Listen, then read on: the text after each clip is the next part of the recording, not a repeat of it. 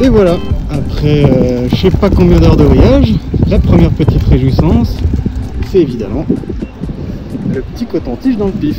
Donc voilà, on va se faire tester et puis on va se mettre sur la grève en espérant que le test soit négatif. Normalement, ça devrait aller. Bon, et voilà, bah, maintenant il n'y a plus qu'à aller par là-bas avec le petit écouillon, on va dire bonjour. Alors, on a déjà la crède qui est là.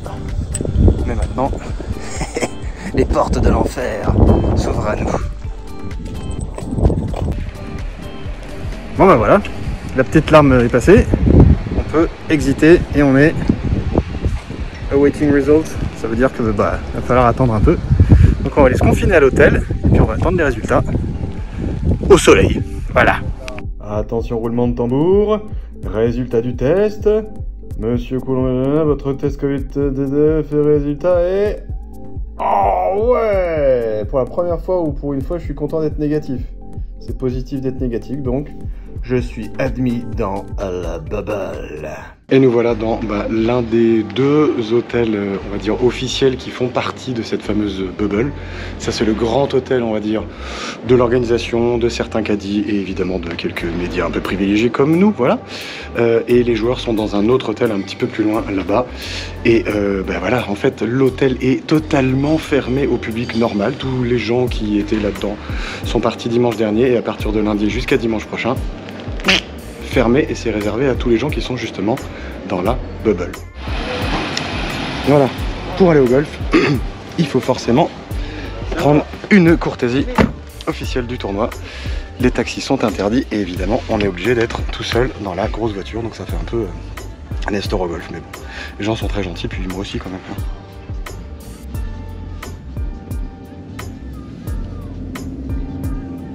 Alors je sais pas si vous le voyez mais euh, il pleut. On est dans le désert et il pleut. Je crois que mon driver il, il, il a jamais vu les essuie-glaces encore, il sait pas.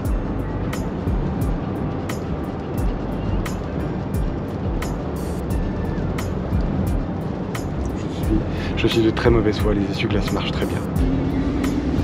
Donc voilà, après euh, 5 minutes de route à peu près, ce qui est vraiment pas, long, on arrive au golf.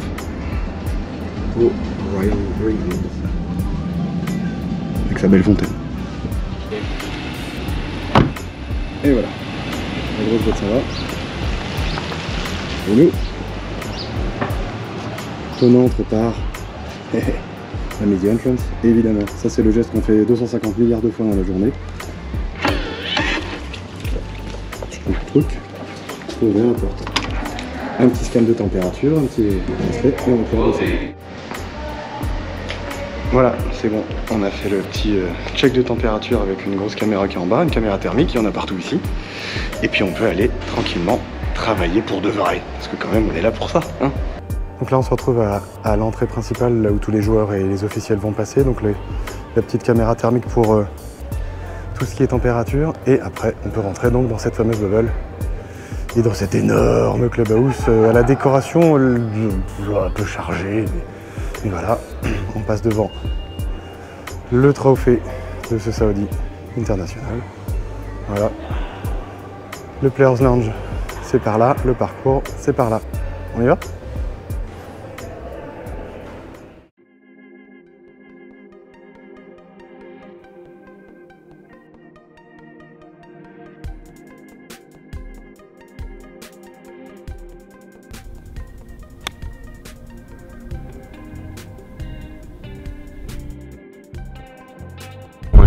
D'être là et très heureux de pouvoir continuer à faire notre métier et gagner bien notre vie euh, sur ces beaux tournois.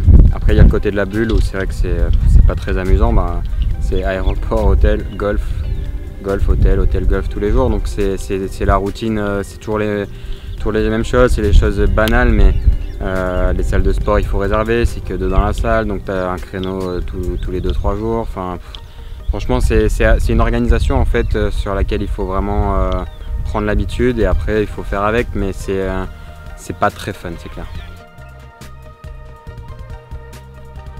Bah, il a fallu s'adapter, c'est vrai. Avant, on vivait quand même beaucoup plus en groupe, en communauté, on partageait avec les cadres. Maintenant, on est en train de réfléchir à plutôt faire seul parce qu'on veut s'éviter tous les risques de, d'attraper le Covid. Donc euh, bah, on est plus seul, donc il faut, s'adapter. Mais après pour le travail, rien n'a changé, on a quand même encore la chance de, travailler, d'être sur le tour. Donc pour le travail, clairement rien n'a changé.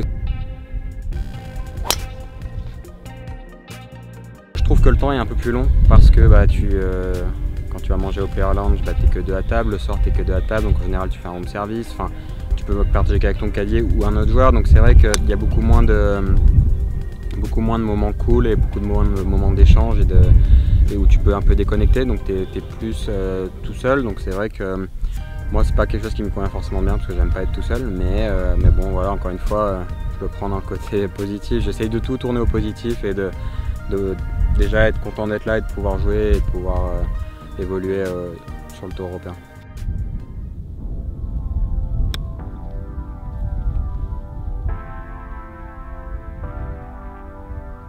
On peut travailler, donc il faut quand même vraiment en profiter un maximum. On n'est pas certain de l'évolution de la saison.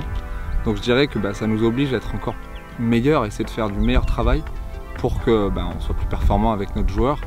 Je dirais que c'est de chercher à optimiser un peu plus le, travail tous les jours parce que bah, on est dans une forme d'incertitude et euh, donc euh, on n'a pas le temps, on n'a pas de temps à perdre. On apprend à être euh, je sais pas, être un peu plus autonome, un peu plus à faire les choses un peu plus seul, chose que je faisais pas trop auparavant. Donc euh, voilà, après, encore une fois, il y, a des gens qui, sont confinés chez eux puisqu'ils sont en télétravail depuis 7-8 mois, ils voient personne, donc c'est aussi compliqué pour d'autres. Donc non, moi je m'estime encore une fois très heureux et je relativise.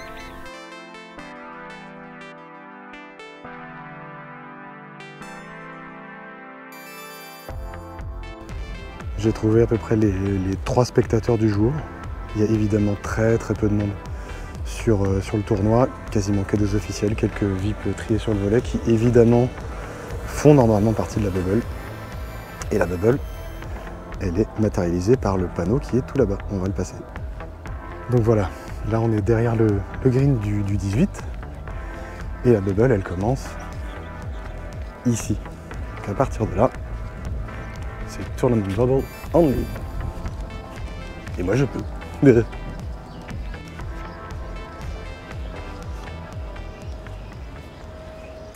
Et en fait, une fois qu'on est euh, dans la, dans la vraie bubble physique, c'est-à-dire dans, l'enceinte du tournoi, presque c'est comme d'habitude quoi. je veux dire, euh, il y a des putting greens, il y a des chipping greens, il y a un practice un peu plus long qu'on va aller voir même s'il n'y a pas grand monde, puisqu'on est en pleine journée vendredi. Mais euh, voilà, à part le fait de porter des masques et de faire un peu gaffe de ne pas faire n'importe quoi, ça change pas grand chose quoi.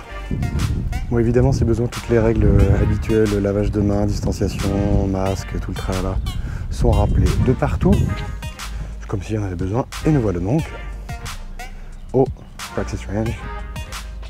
Et ce qui est assez cool c'est qu'au dernier moment, ça ça s'est rajouté. Et ça ça veut dire que à des gars comme moi, on a le droit d'y aller. Parce qu'au début, c'était pas forcément le cas. Voilà à quoi ça ressemble, le practice du Saudi international.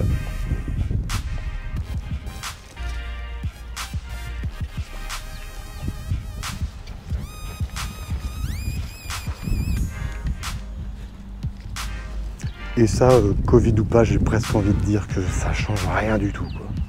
C'est presque un endroit où c'est un peu plus, un peu plus libre que d'habitude, dans le sens où euh, on est totalement à l'extérieur, on est loin les uns des autres, on peut presque enlever les masques et taper des balles tranquillement sur cette énorme practice. alors ça, c'est aussi, ça me fait beaucoup rigoler. Ce sont les social marshals. Ça, c'est les gens qui vérifient que les distances de sécurité et que les masques sont bien mis dans la bubble. Alors s'il y a bien un truc qui change vraiment d'habitude par rapport à la façon qu'on a de courir les tournois, c'est bah, toute la zone, on va dire la, fameuse zone mixte, là où on fait les interviews des joueurs. Et évidemment cette zone mixte, elle est Covid-proof, la preuve. Voilà, donc ça c'est en gros le chemin que prennent les joueurs. Donc comme d'habitude, il y a des sens de circulation de partout. Le recording est par ici. Quand ils sortent, ceux qui ont plus ou moins bien joué ont le droit de passer la petite ligne blanche, de venir soit dans ce qu'ils appellent le Media Hub, qui est une sorte de conférence, de salle de conférence qu'on va regarder dans deux secondes, soit ils vont jusque là-bas. Et évidemment, chacun est de son côté de la barrière. Là, je suis du côté des joueurs, normalement, je suis de l'autre côté quand je pose mes petites questions plus ou moins intéressantes. Voilà, donc forcément, ça fait un peu Disneyland, mais c'est la réalité pour que les choses se passent le mieux possible.